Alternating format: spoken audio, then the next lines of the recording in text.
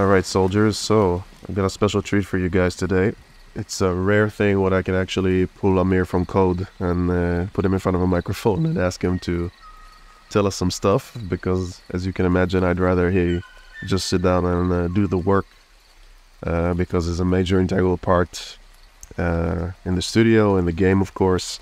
And I wanted to take this opportunity because we both agreed that it's a good point to stop and maybe reflect a little bit because I think, uh, Amir, correct me if I'm wrong, you've told me this uh, several times, but now this seems like it's the real deal that we're going to be slowly transitioning into just pure gameplay. I thought this would be a nice way to maybe stop for a bit and uh, reflect on the road you've uh, been through so far with us and uh, Yeah, and it's been it's been quite a road. it always is though with games So it, it is actually a really good place to kind of stop and, and look back because, as you've said, uh, the engine has gone through maybe a couple of iterations. Uh, we're not going to talk about all of them in depth, but we are at the point where we are now ready to write the systems. We're capable of writing systems that work and run in the game and actually create the basis of the Salt engine and then the basis and expansion into the Born to Build game itself. For me, it's really just even doubly more exciting because, as you guys saw on YouTube, I've made the assets rather early, and I've said this multiple times game development isn't exactly linear, so mostly visual assets can be done before the game is made. Or recently, I heard, like in, uh, I showed you, I think I even sent you the video of the game designer who worked on WildStar, that they just worked on code for like three years and didn't, they didn't have a setting or classes or mechanics or art or anything. So there's no like one way to make uh, to make a game. But I think combining with the fact that we all still have our jobs, thankfully, and uh, some of you know from the Discord, I'm switching jobs, so busy doing freelance was, which is why we haven't had a new devlog or podcast in a while. But the next devlog is also going to be a big one. I'm going to hold off on the reveal for that, but it's a really cool announcement that I'm excited to make back to why I'm excited because I've been waiting for as Amir knows because I've been reminding him of this every week that I one of my favorite things to do with games is to just tweak the numbers and adjust the design and the systems. Uh, as you and I worked on the previous uh, game, you know, it's me asking for the basics. You know, I want the player to jump, I want movements, physics, and all that, and to just tweak it to perfection is something that I really enjoy doing, and I can't wait to start doing it. So, before we get into the gameplay aspect of things, I thought uh, you could uh, just take us through uh, because it wasn't completely structured. Just go through the way the engine works, maybe just you know the bare bones stuff. Don't have to go into crazy amount of detail, but to just share your screen and uh, take us through it and share your thoughts on the process. All right, so uh, with code, it's kind of hard to know where to start because, for example, we're currently sitting at about round about 15,000 lines of code that we have, and if you ask me, about 50 lines of code that we've already erased. so it's always a, sort of pull and push.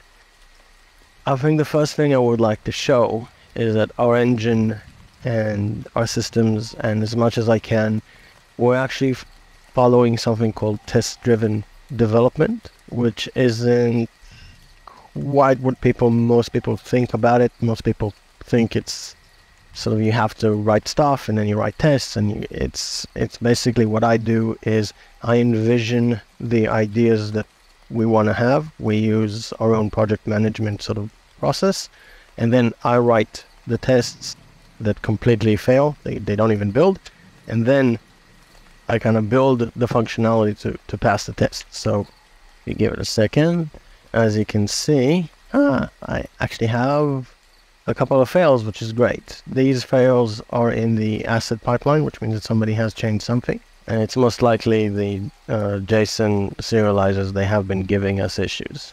So you can see we have 419 tests. This is just for the basic framework of the game.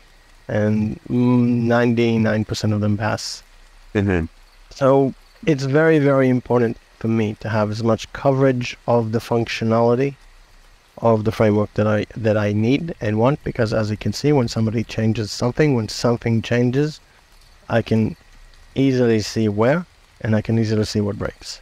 And it's easy to fix. So it's just from and again I'm gonna be the the viewer here and I'm sure we have uh, people more uh, in line with code than me but that just I remember you speaking about this that when you have something that goes wrong you want to know exactly where and to address it more I guess surgically in a way yeah, so these specific free tests have been have failed before. They there's an issue with the linking uh, of the JSON, the the Newtonsoft JSON library that we use. The engine uses version 13, but this particular testing framework uses version 9. So sometimes it builds. This is a Visual Studio bug, by the way. This is not my bug. I've, I've tried solving it uh, in different ways and in different, but it's not it's not entirely my fault. So basically, what we have is we're using functionality from JSON from Newtonsoft JSON 13, and the testing framework doesn't know of that functionality because it's actually linked against version 9 and the way that linking works of dynamic libraries is that I can't actually change it. It's it's hard coded Mhm. to version 9. So I do have some ways to bypass it and usually if I rebuild the game and it's going to link to the correct JSONs, let's see if it does it again. Yeah, see? Now it now I've rebuilt the engine and the linking is working again. I see So that's this is particularly this this particular issue is known, and we've, we've got an, a ticket open for it. Hopefully, at some point they'll fix it. Maybe at .NET 7, maybe in the next Visual Studio. These tests are unit tests, which means that they most of them stand completely isolated. They don't actually they don't actually test the integration of the systems. Not not as much. Some of them may in a, in a very sort of roundabout way, but these are not integration tests. These are unit tests. We use them to actually drive functionality.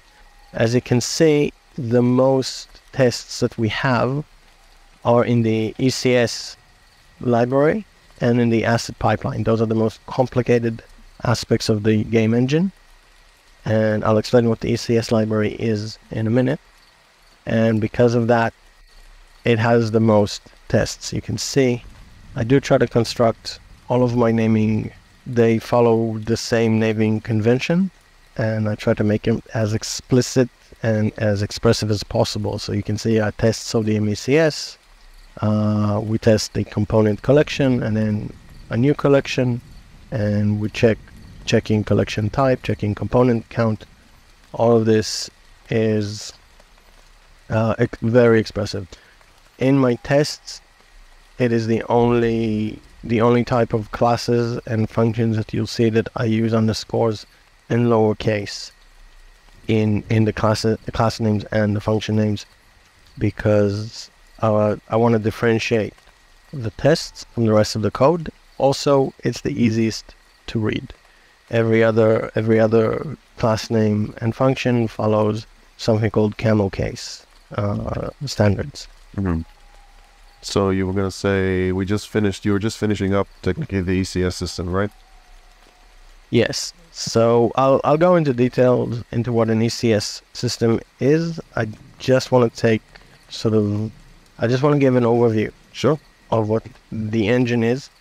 I'm not a big believer in in concepts such as engines in and of itself like Unity or Unreal. Mhm. I find that idea a bit restrictive, and I, I don't think it was that good for the industry to actually sort of standardize um, behind that particular concept of an engine. Mhm. I think our engine is more of a, a framework and a collection of tools to make games.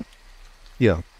I mean, some people, as you know already, I remember you and I were in the same room when we were asked the same question. Is like, what are you guys trying to to overthrow Unity? And it's it's less about that, and it's more about creating a framework for the studio for future projects, not just born to build. Because I mentioned this previously, you have to think ahead when you're you're willing to dedicate years of your life to a project or a company or a studio. Might as well, you know, make your own tools should you choose to do so. And if you enjoy the process, you are one of the few programmers that I personally know that they enjoy that process. It's just not a very common thing, so I understand why Unity and the other engines exist and how I think they did help other programmers express themselves, you know, make their own games. There have been phenomenal games made in these engines. But this is not like a, I would say, a statement against. It's just a different path to take to game development, which also has existed for years and will hopefully still exist. I agree completely. I use Unity in my day-to-day job, and it is a very good engine. It's got its own niggles, but for what it does and what you need it to do, and for a commercial uh, environment, I think that it's most of the time the right choice. Yeah, so all right, take us through it. What's the All right, what's so we're, we're gonna start at the most basic level, and this is a C sharp. Uh, we're writing the engine in C sharp, and because that's the language that I'm most familiar at at the moment, and .NET 6 and 7 have introduced a lot of optimizations to the language, which make it a lot faster than what it used to be. It's not C level fast, it's not C++ level fast, but it is uh, fast enough for what we need right now, and it gives us a whole host of other cool stuff we can use. So what you're looking at right now in this screen, this is the main entry point into the into the game, into the engine, right? So every C program, every C sharp program, every Java program has an entry point into the application, and this is ours. Our application, actually, the entry point doesn't do anything to do with the game. It looks to something called the bootstrapper, and we're bootstrapping the engine. And everything, once we start the bootstrapping sort of process, the engine loads itself, and then the engine looks for the game that is currently supposed to run, and it loads the game. This is the reason we've made it this way, is specifically because Born to Build is one game. And Salt and Sodium, you'll see in a minute, is a framework that is designed for us for more than one game. So it's it was important for me to instill that idea to begin with that this is not an act out thing. This is actually a framework upon which we will build. yeah. And because uh, I hope you can see on the side, this is the Solution Explorer. And because I like to keep to a theme, and we've decided our theme is salt. Yeah, I remembered. I remembered Grandy's reaction to that. He was like, "Oh, you're really committing to this." I am committing to this, and I'm committing to this 100%.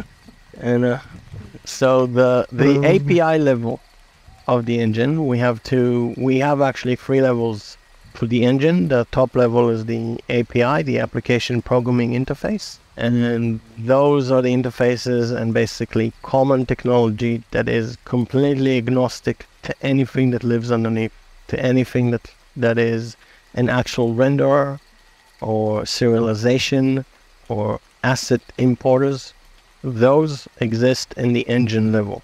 So the API level is called Sodium.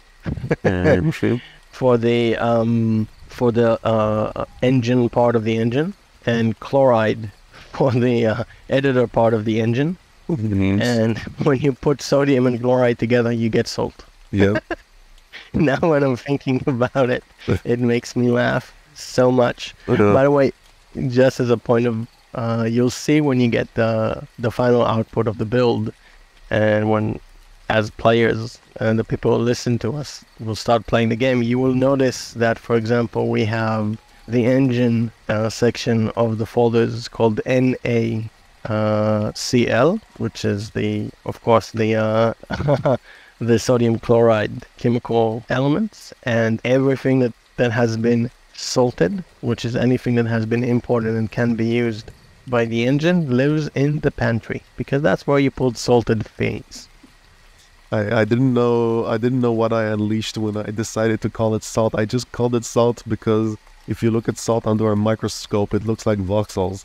That's like the only reason I chose it. And you just go on and went So completely. it's, uh, yeah, so I, I run with it. I'm a programmer, which Yeah. a lot of times mean technical people, but I, I, I do have a flair for the the prose and theatrics. Mm-hmm. So as you can see, Sodium is actually made out of a few uh, basic library or project files in this case, Mhm. and They're pretty self-explanatory. We're going to go into DSCS in a minute. Good. The most basic aspect and thing that touches everything is the logging framework that we have. We have our own logging framework, and you'll notice even in the logging framework, my folders are data, enums, extensions. I think I have utilities, but you'll see that in all of the code that I write, I try to keep it very structured and very similar. So even if, if the next programmer that comes in, he doesn't like my naming conventions, at least he can see that it's consistent Mhm. across the board because then it's easy to get into it and it's easy to find things. Sure. Once you go down from the sodium level, the sodium provides, for example, the game driver interface. This is this is the game driver interface itself. It doesn't know anything. This is what we pass around Mhm. uh, because this game driver is it started off as an implementation in MonoGame and then it went to become our own implementation when we switched the rendering system so this is the these are the basic common functions functionality that we need for a game driver Mhm. we have a game scene which doesn't really have much at the moment and we have a game window the game window is the system window. It basically allows us to close, open, resize it. Uh, We Mhm. currently use SDL, the C sharp binding of SDL2, to create windows. So sodium is the top level element Yes, of our engine. And then we go into, if you'll notice, chloride is the editor level, uh, the editor API. And as before, it has an interface for the game editor. It has an interface for the entity selection uh, objects that's responsible for selecting entities in the editor so we can actually manipulate the game scenes. Mhm. And it's the same. You have data, enum, extensions, attributes or attributes that you attach to classes, and changes, which are basically event argument Mhm. uh, classes. So then we go into the Salt engine, and the Salt engine provides the most common implementation of components and systems which are going to exist for any game that requires voxel rendering. Mhm. Uh, other games, for example, if they're not going to be voxel based, once we make them in a few years, we're going to replace this particular layer with a different renderer.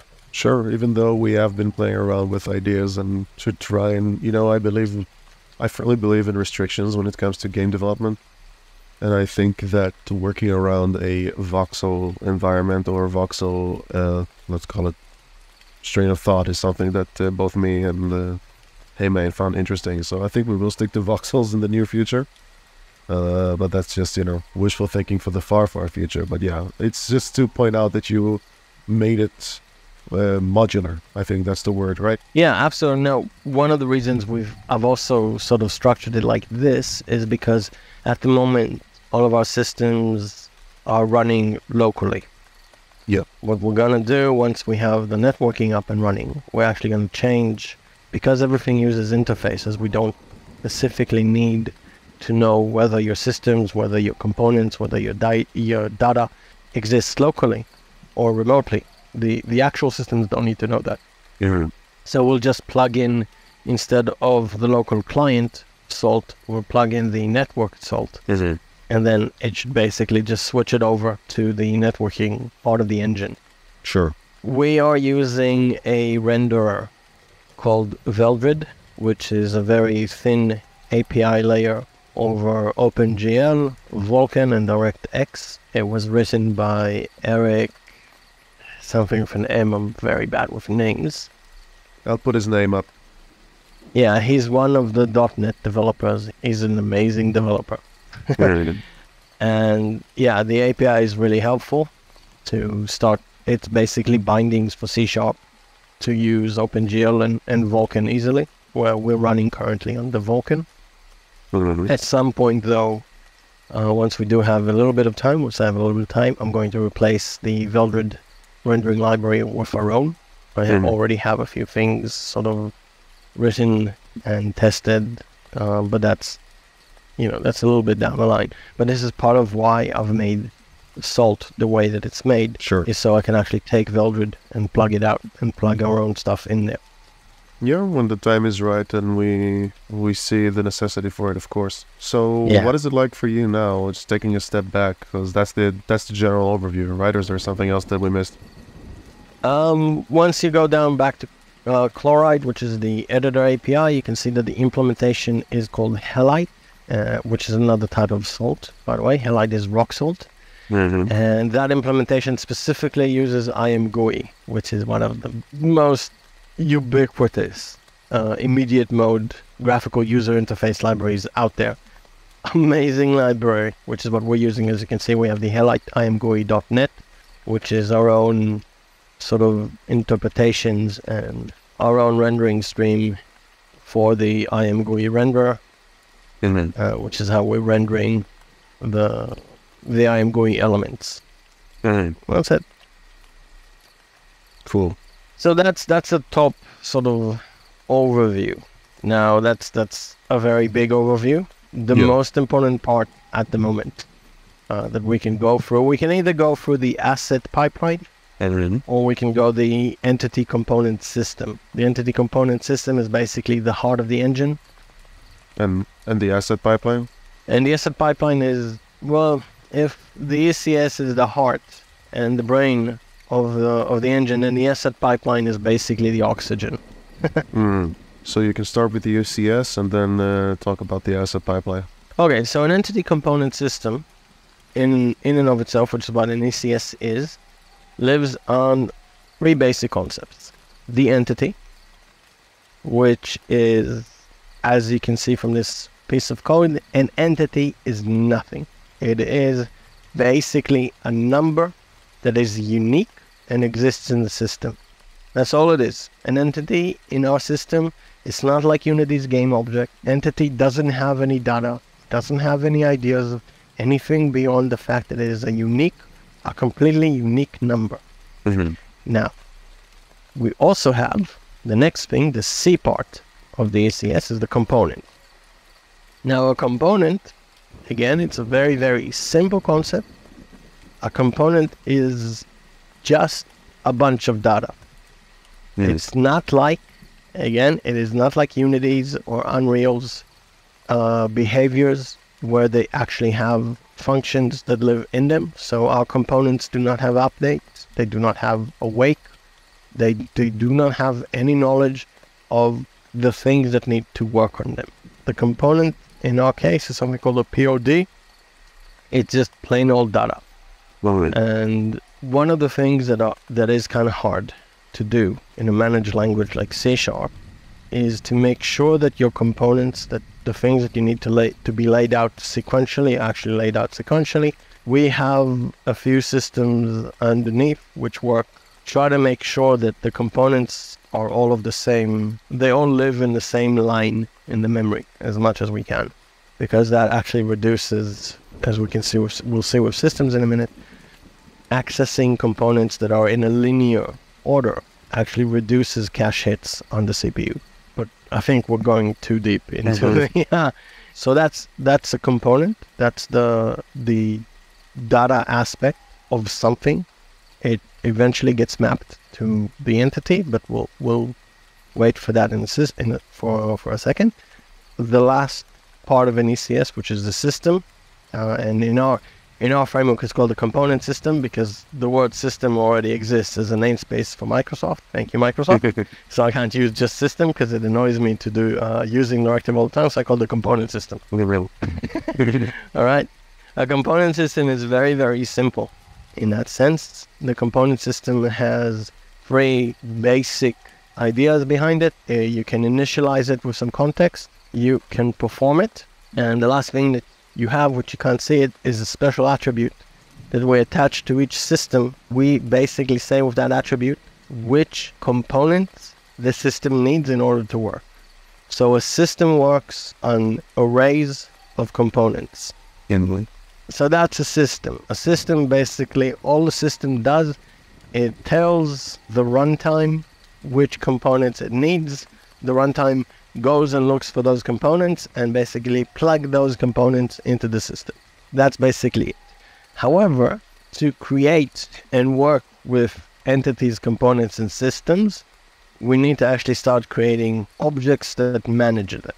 The objects that manage our component systems and entities in our framework, they're called registries. We have all of them here. And they're all combined into something called an entity domain. If you're familiar with Unity, the entity domain is basically a scene. Although for us, game scene means something slightly different. It has a bit more metadata, but the entity domain can actually, let's look at the interface. You can rename entities, remove entities, remove components, add components, and create entities. On top of that, we have something called the ECS runtime, which is the main entry point into the ECS itself. And that's what the game uses. So the ECS runtime manages our entity domains and it manages our systems. This supports any game. The game basically is defined by the systems and components that we have. Currently, the two default components that Salt supports are a camera, and it's missing at the moment a few things, uh, like the entire camera. We've just started adding it back on Thursday, and a transform. A transform is basically just position, rotation, and scale in space. That's all it does. Yeah, it's things that work. It's things that worked before, but you're just reattaching them. Yes. So we we've got to the point now that we have the concept of systems, the concepts of components, and concept of entities are working together, and now we're adding back all of the components and systems that we have. So, for example, the first system we're going to have is going to be a rendering system, and the rendering system is going to work on cameras and transforms. So, what the system would do, it would ask the ECS runtime, give me all of the entities with the transforms and cameras, and then the rendering system will get all of them in two arrays, and it'll just run on those arrays and do something with them, do rendering with them in that particular case. So that means you're still reattaching the rendering? Uh, no, the rendering stream is here somewhere, already up and running. We just need to connect the actual rendering with cameras because at the moment it Yep. renders without cameras. Yeah, no. Uh, yes, so the rendering is working. Uh, we're gonna attach once we have in the following days. Hopefully, no more than a week, two weeks tops. We're gonna have components such as voxel map, voxels, uh, components like player, first-person controls. We have co- components that have gonna have bots on them. Components that are gonna mash renderer components, animation components, all those things, and then on top of that, we have all the systems that actually take those components, that particular data, and perform something with it. A system is basically a function that does something on a lot of components. Mhm. And that's basically, the, I, I- I say the word basically a lot, I think. Uh, I just noticed. And I say, you know, I know, you know a lot. Yeah, so to test things, I'm starting from the simplest components, which is a transform and a keyboard movement on that and that transform. As you can see, the keyboard movement, very simple, has lists of key codes, which is left, right, up, down, forward, backward, and the speeds. Once I know that this works, it's very simple. Once the system works, I can start adding more stuff back. Yeah. Because we already had most of these things, so it's just reattaching. So can you explain? Because I've said this several times in the past that because they did see us, you know, running. See, I told you I said you know a lot. They they've seen us opening uh, Ace of Spades maps. They've seen us moving around the level. We had the render distance already, the fog. Uh, we even, if you remember, managed to drop some like uh, snow voxels and shoot voxels. So why the reattachment? Can you explain what changed and happened that we had to like take another step back, finick around with the engine, and then reattach everything? Why did that have to happen? Yes. So the previous iteration of the engine was be- was missing. Uh-huh. They said it. was missing a concept from the systems. I couldn't really use the renderers as systems within the entity domains. Cause And what that caused dependency issue between the ECS and the rendering systems, which meant a lot of the systems that we wrote couldn't be automated. The components had to be queried by hand and it was slower. I couldn't cache any of them and it took a long time. It was very complicated for the rendering systems to actually ask the ECS to give the components that it needed. Mm. I wasn't very happy with that design. It wasn't a good design. Mm. So that And I made the call yeah, and I made the call. And one of the consequences of that is that when we started adding the physics system, I couldn't add it as a proper system. The rendering weren't proper systems, and then the physics wasn't the proper system. And because of that, the communication lines between the ECS and the rendering and the physics kind of broke down and I had to sort of I had to patch it in a very sort of crooked way. There's something called technical debt, and that was a very very big technical debt to take on. Mm. And for better or worse, some would say worse.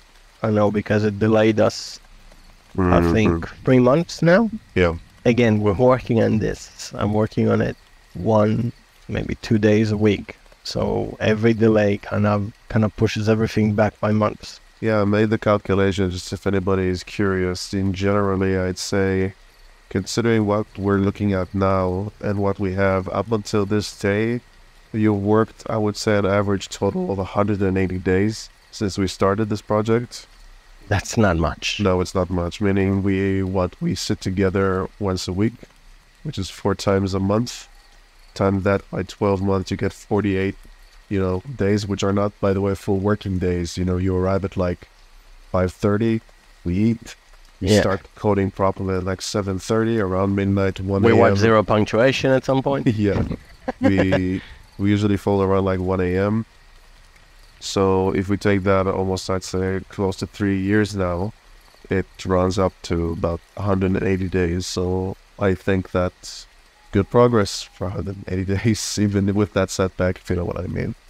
But the big question is, and that's what we, we understood, that's kind of the risk that you take when you make these kind of systems, but this is not gonna, that's not something that's gonna happen again, correct? Absolutely. I think one of the things that I really came to realize in the last couple of months and have focused really for myself in the last maybe a few weeks is the importance of value for clients, not just for me. So when I said in the start of this uh, talk, I said one of the things we have to cut out is ego. I meant not just in the sense I'm not attached to my code. I know a lot of programmers, they kind of look at their code as it's my code and you don't know what you're talking about. And I'm not attached to my code. I've never been attached to my code. I like learning. I like changing my coding habits. My coding habits have changed considerably over the last few years and 12 years, definitely, since I've started coding professionally. Understanding the value for the client is more of a focusing point. It's easy to say now, two Yeah. years down the line. It's really, really easy to look back and say, ah, I should have done things differently. Of course, we should have done things differently because we now have two years of, of experience that we didn't have two years ago. And so somebody very smart once told me that you do the best you can at the moment that you do it. Yeah. Whether it's right or wrong, you do the best you can with the information you have. And that's, you can't beat yourself up over it. So what you can do is you can change from now on. Yeah. No, we're not going to go back and redo stuff. I think our journey from now on is the pre-production in the sense of redoing stuff is finished. Yeah. I'm 100% sure we have technical debt here. I'm 100% sure we are going to need to fix things and patch things, Of course. but we're going to do that while running forwards because I want this game to I want to play this game already. My Yes. kids are on my back asking me, my my my 11 year old is like, when can I play Born to Build? yeah, I understand what you mean about ego. By the way, I just want to sorry to cut you off. I just want to reiterate that even for me, talking from a design perspective, and we have the shipped the game before the early access, and to me, to just ship something is always like the most terrifying part. The the, the, the funnest part is where you can still change things.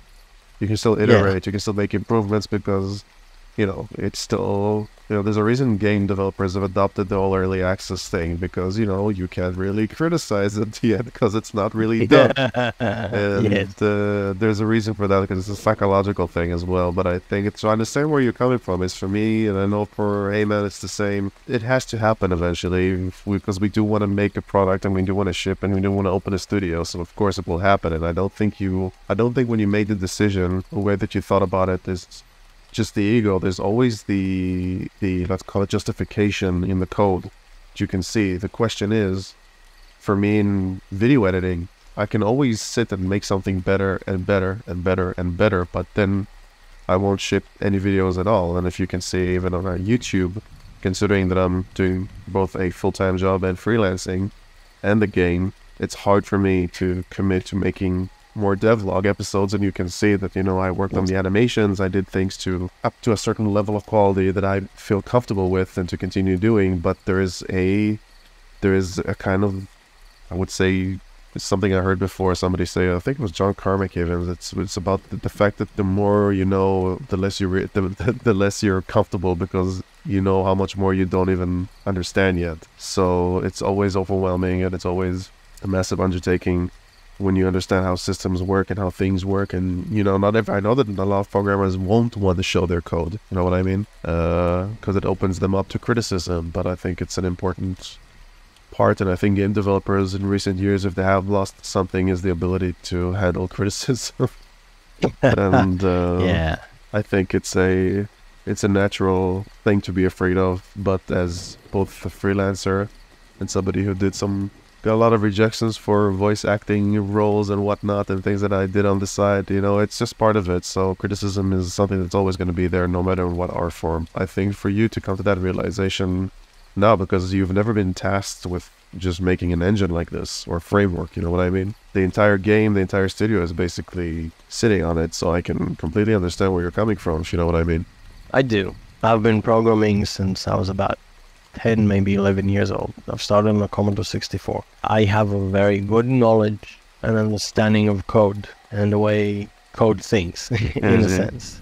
But a role like this, and working within a team and working to deliver something this complicated and this large, I haven't done before. And it's it's a learning experience. And I have like I said, I've learned a lot. Unfortunately, the mistakes that I've made or the decisions that, that I have taken, they have a cost.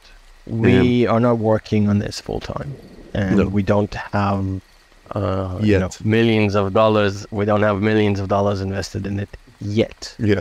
So the cost that we pay, and there is a payment yeah. for everything. The cost is time, mm-hmm. and it, it it is not an easy cost. No. Um, for that, I and I see how much that cost you too, and I I I do I am sorry for that. That was I can't say that it was the wrong decision, mm-hmm. but it definitely a decision that cost more than I expected, and I should have yeah, should have should have yeah. would have could have of course. But I have learned to actually see that particular cost now in advance for all of my decisions when it comes to code, and I see it in my work now, my day to day work. Mm-hmm. And on my other projects, when I'm working on them and helping my other people that, that, I help when I can. Yeah, so that was definitely a learning experience. And going forward, going forward, it's not going to happen.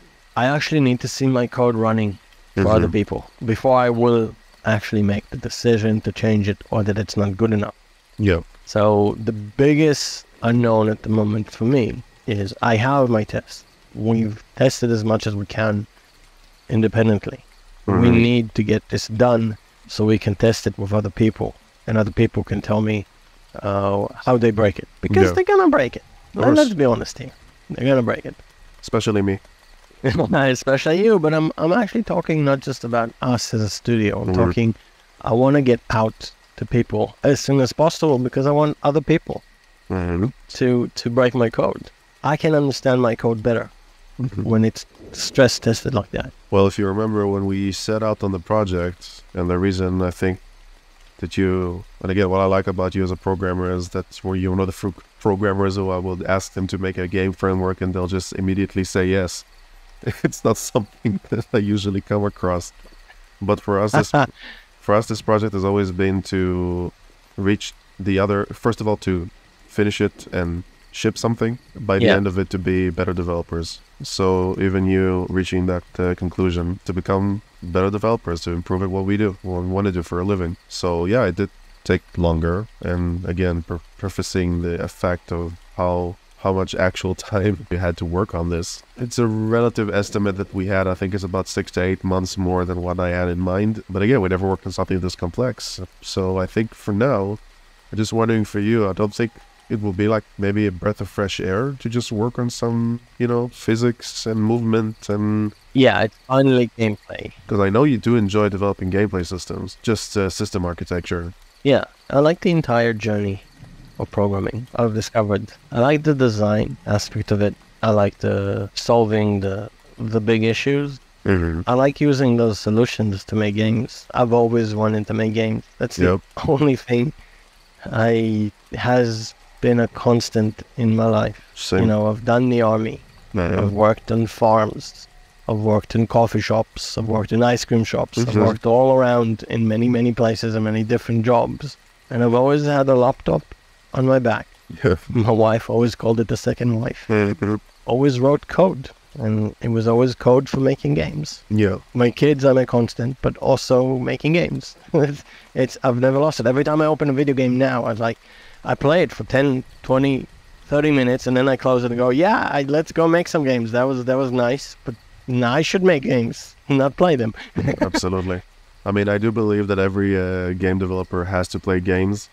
Uh, even if uh, you enjoy it less and you have less time, it's important to see what other developers are doing and get inspired. It's like reading, you know, it's like being a writer without reading. It's something that you Yeah. need to do. to my greatest shame, I still haven't played Ace of Spades. I will at some point.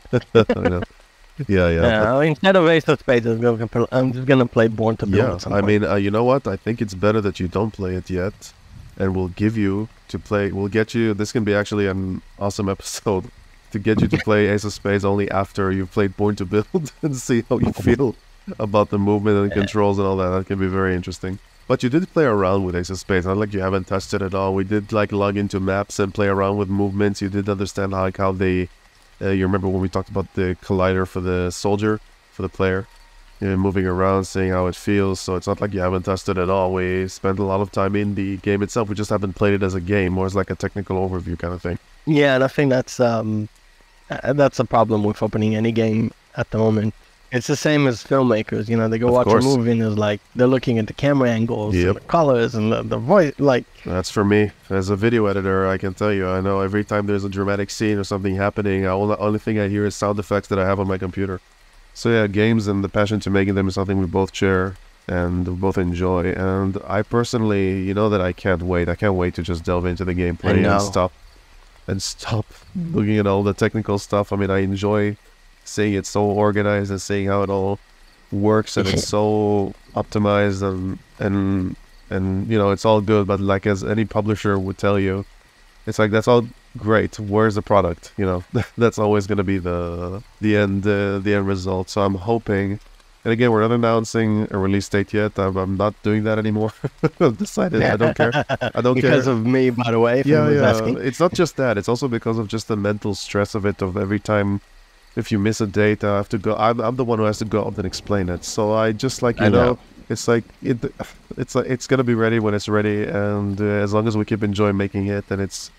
It's. I think you've done incredible amounts of progress on this game, considering how little time you actually spent writing the code for it. It feels like forever, but it's really not a lot.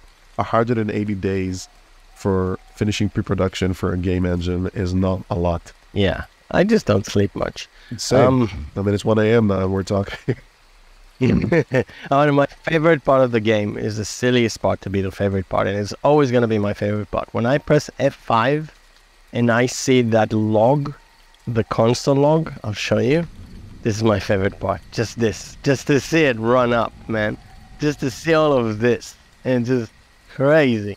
Yeah, I just want to say before you start summarizing, Mhm. uh, there is a lot more to the engine and a lot more to the code that I, I, I would love to show. Um, one of the best concepts that came kind of like by accident into the into the engine. It's one of the best and worst things ever. is called the context object. Man. We abuse it quite a lot, but it is awesome.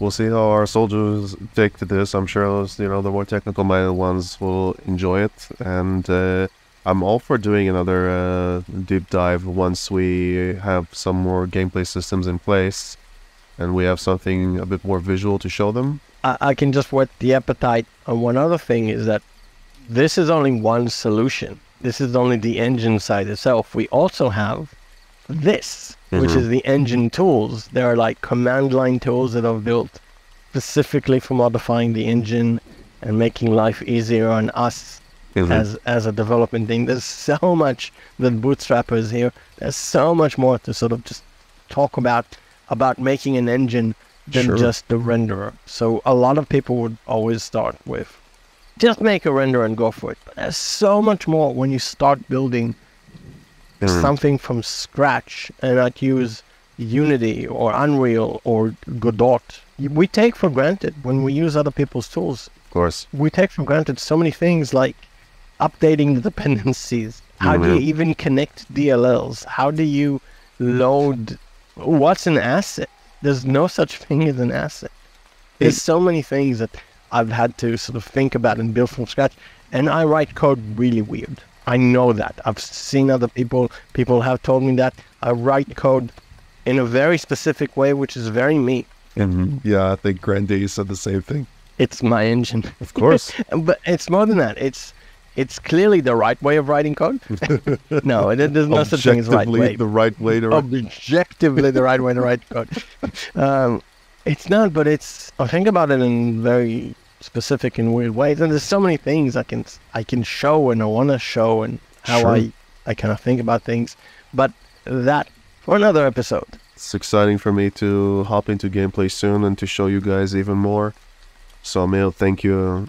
Really, thank you for taking the time. I'm sorry I'm, I'm not putting you on more, but you can understand my. Uh, you know, I still have to manage the whole thing, and I'd rather you just write down and do the do the work.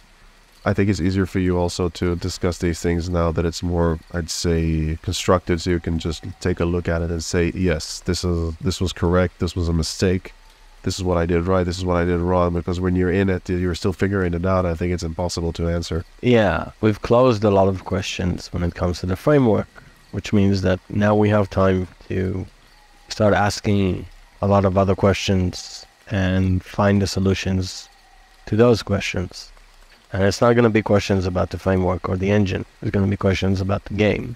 It's going to be questions about the assets, stuff like that. Every game engine that exists or game framework has answered the same questions with different answers that worked for them. Yes.